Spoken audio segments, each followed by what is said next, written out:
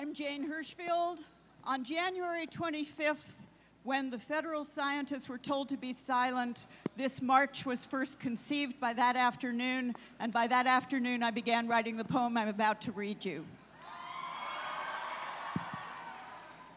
On the fifth day, on the fifth day, the scientists who studied the rivers were forbidden to speak or to study the rivers. The scientists who studied the air were told not to speak of the air, and the ones who worked for the farmers were silenced, and the ones who worked for the bees. Someone from deep in the Badlands began posting facts. The facts were told not to speak and were taken away.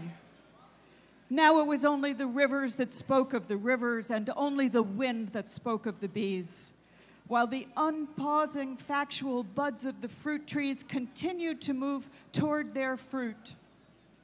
The silence spoke loudly of silence, and the rivers kept speaking of rivers, of boulders and air. In gravity, earless and tongueless, the untested rivers kept speaking.